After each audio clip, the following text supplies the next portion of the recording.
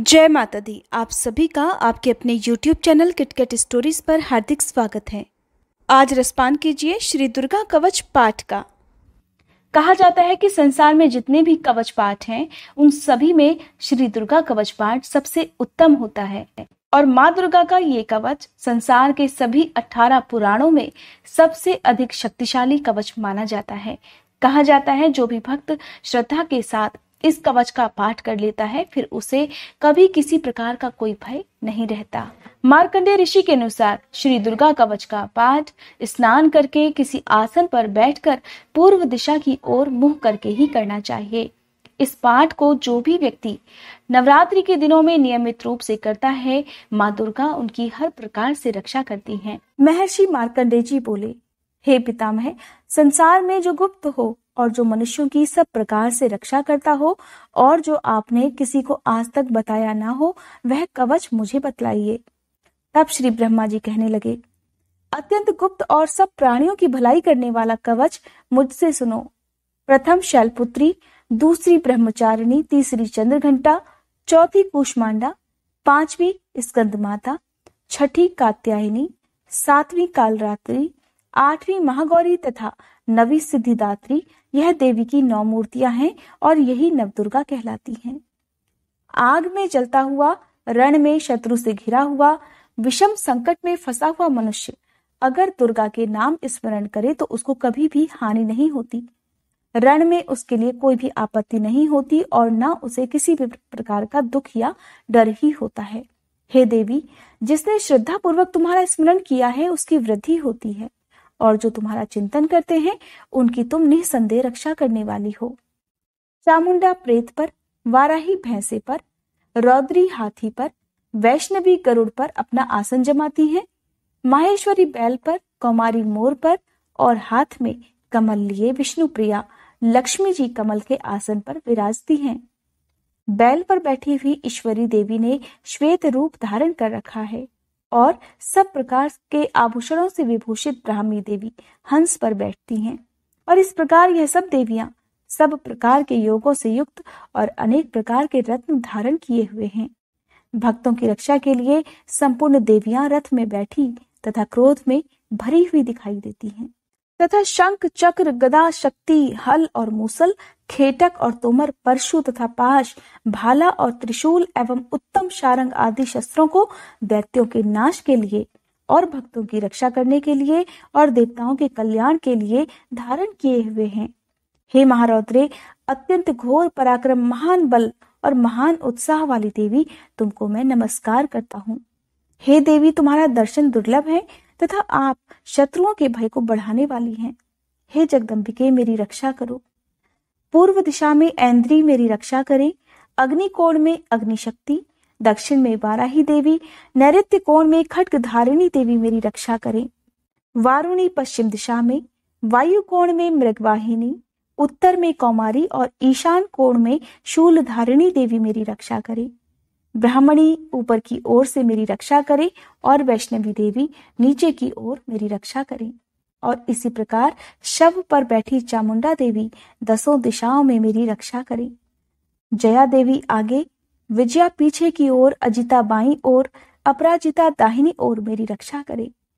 उद्योतनी देवी शिखा की रक्षा करे तथा उमा मस्तक में स्थित होकर मेरी रक्षा करे। इसी प्रकार ललाट में मालाधारी देवी रक्षा करे और यशस्विनी देवी मेरी भौहों का संरक्षण करे। भौहों के मध्य भाग में त्रिनेता, नथुनों की यमघंटा देवी रक्षा करे। नेत्रों के मध्य में शंखनी देवी और द्वारवासिनी देवी कानों की रक्षा करे। कपोलों की कालिका देवी और कानों के मूल भाग की भगवती शांकरी रक्षा करे। सुगंधा नासिका में और चर्चिका ऊपर के होठ में, अमृत कला नीचे के होठ की सरस्वती देवी जीव की रक्षा करें। कौमारी देवी दांतों की और चंडिका कंठ प्रदेश की रक्षा करें। चित्र घंटा गले की घाटी की और महामाया तालू की रक्षा करें। कामाक्षी ठोड़ी की सर्व मंगला वाणी की रक्षा करें। भद्रकाली गर्दन की और धनुर्धरी पीठ के मेरुदंड की रक्षा करे। कंठ के बाहरी भाग की नीलग्रीवा और कंठ की नली की नलकुबरी रक्षा करे। दोनों कंधों की खटकिनी और वज्र धारिणी मेरी दोनों बाहों की रक्षा करे। दंडनी दोनों हाथों की और अंबिका देवी समस्त अंगुलियों की रक्षा करे। शूलेश्वरी देवी संपूर्ण नखों की, कुलेश्वरी देवी मेरी कुक्षी की रक्षा करे। महादेवी दोनों स्तनों की, शोक विनाशिनी मन की रक्षा करे। ललिता देवी हृदय की शूल धारिणी उदर की रक्षा करे। कामिनी देवी नाभि की, गुहेश्वरी गुह्य स्थान की, पूतना और कामिका लिंग की और महिष वाहिनी गुदा की रक्षा करे। संपूर्ण इच्छाओं को पूर्ण करने वाली महाबला देवी दोनों जंघाओं की रक्षा करे।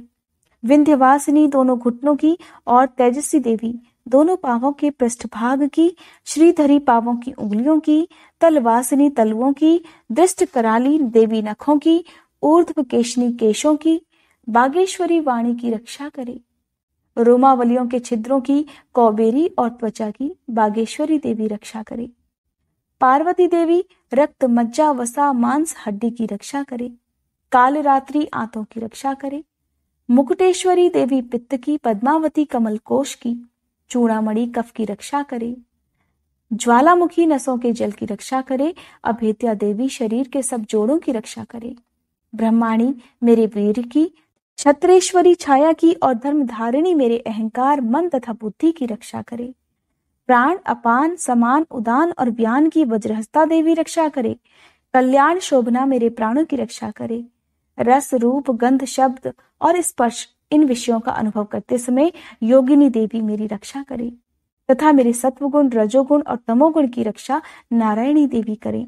आयु की रक्षा वाराही देवी करे, वैष्णवी धर्म की तथा चक्रिनी देवी मेरे यश की कीर्ति, लक्ष्मी, धन, विद्या की रक्षा करे। इंद्राणी मेरे शरीर की रक्षा करे और हे चंडिके, आप मेरे पशुओं की रक्षा करिए। महालक्ष्मी मेरे पुत्रों की रक्षा करे और भैरवी मेरी पत्नी की रक्षा करे।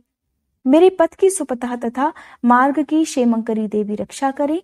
राजा के दरबार में महालक्ष्मी तथा सब और व्याप्त रहने वाली विजया देवी चारों ओर से मेरी रक्षा करे। जो स्थान रक्षा से रहित हो और कवच में रह गया हो, उसकी पापों का नाश करने वाली जयंती देवी रक्षा करें।